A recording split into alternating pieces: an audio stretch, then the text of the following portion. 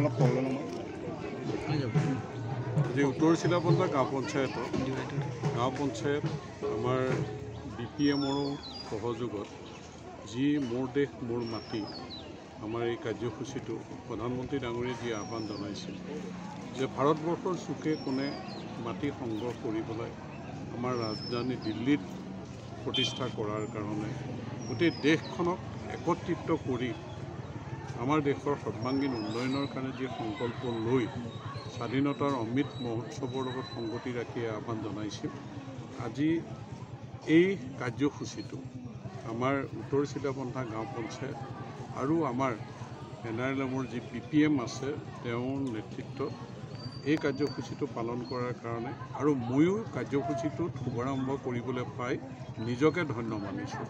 গতিকে মই তেখেতসকললৈ ধন্যবাদ জনাইছোঁ।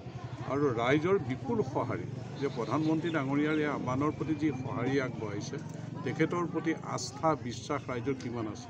সেইটো অকল আমাৰ এই উত্তৰ চিলাবন্ধাতে নহয় আমাৰ ঊনৈছটা গাঁও পঞ্চায়ত সমষ্টিটো আমাৰ দুখনখন পৌৰসভা যে সকলোতে চুকে কোণে এই সঁহাৰি আগবঢ়াইছে প্ৰধানমন্ত্ৰী ডাঙৰীয়া আহ্বানৰ প্ৰতি আৰু এয়া মাটি লৈ পেলাই। আমাৰে অঞ্চলৰ নদুৱাৰ ব্লকৰ পৰাও যাব পৌৰসভাৰ পৰাও যাব যে আমাৰ সমষ্টিৰ পৰা পাঁচজন দিল্লীলৈকে যাব এই মাটি লৈ পেলাই। আমাৰ মাটি লৈ পেলাই দিল্লীত প্ৰতিষ্ঠা কৰিবগৈ গতিকে মই নিজকে ধন্য মানিছোঁ আৰু সহযোগিতাৰ কাৰণে সকলোকে ধন্যবাদ জ্ঞাপন কৰিছোঁ।